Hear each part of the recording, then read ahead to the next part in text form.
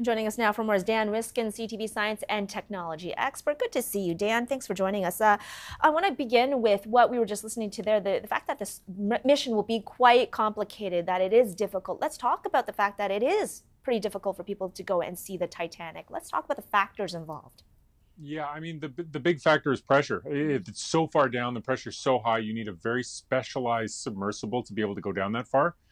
And so, I mean, the analogy is the opposite space, because if something goes wrong in space, you can't just, you know, go up there in an airplane to fix things. You need a spacecraft to get to space. And likewise, when something goes wrong at these kinds of depths, you can't just bring a normal ship and float over what's happening and lower something.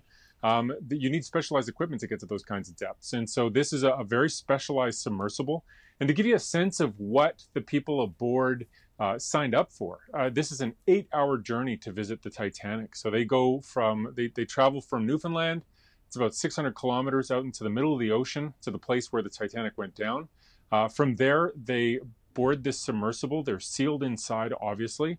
Uh, it takes two and a half hours to reach depth. It's going down about 3.8 kilometers, so almost four kilometers underwater. Incredible pressure mm-hmm. down there.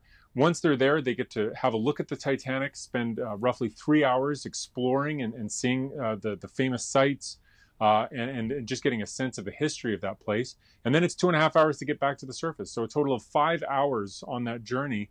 And it's unclear where in that timeline things went wrong. It's unclear what the nature of the, the severed communication is.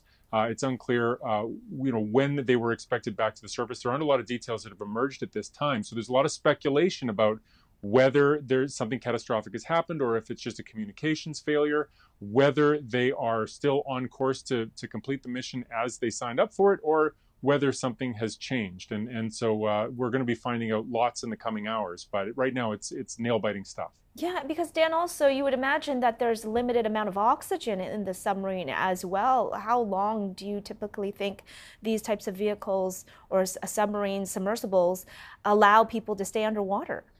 Yeah, the numbers that I'm seeing communicated uh, from different sources, uh, I haven't been able to verify, but they're saying something on the order of 96 hours of oxygen. Mm. And so uh, I'm also seeing unverified uh, co- comments online that this was a, a, trip that might have started on Sunday, yesterday, as opposed to starting today.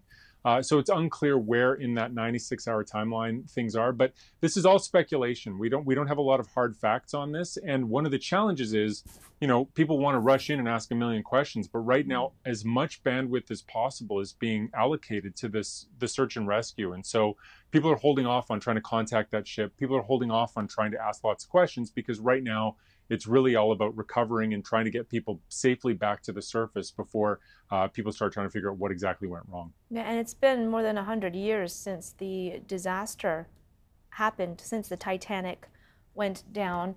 Uh, talk to us a little bit more about this continued interest that the public has in the Titanic.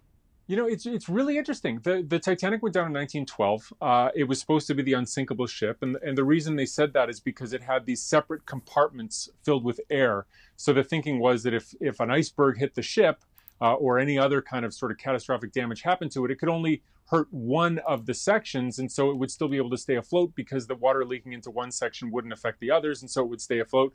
Of course, that that didn't turn out to be the case. The the nature of the iceberg collision was such that it tore through several of these chambers.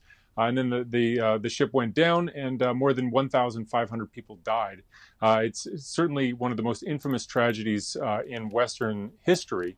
Um, but but you know it's it's something that people are very curious about. Of course, James Cameron made a famous movie in 1997 about it. Uh, there have been these submersibles that have gone to see the ship. But what what really makes this place persist, this this shipwreck in the middle of the Atlantic, is the popular fascination with it. From a scientific perspective, it's not as interesting as other shipwrecks. And it's unlikely that public funding into scientific research is going to get allocated to this ship very much more uh, because we know a lot about it and there are other ships with bigger mysteries. Um, but that human fascination is the reason that people are willing to pay what's being reported as, as $250,000 a ticket wow. for the opportunity to go visit this ship. And so that's what we're seeing here is commercial industries that are taking tourists to go see that ship and and that's the nature of what this submersible was doing was it was tourists going to check out check out the titanic. And so uh, that is the nature of exploration of the titanic at this stage and, and, and that's where we got to. Okay ctv's science and technology expert dan riskin. Thanks as always dan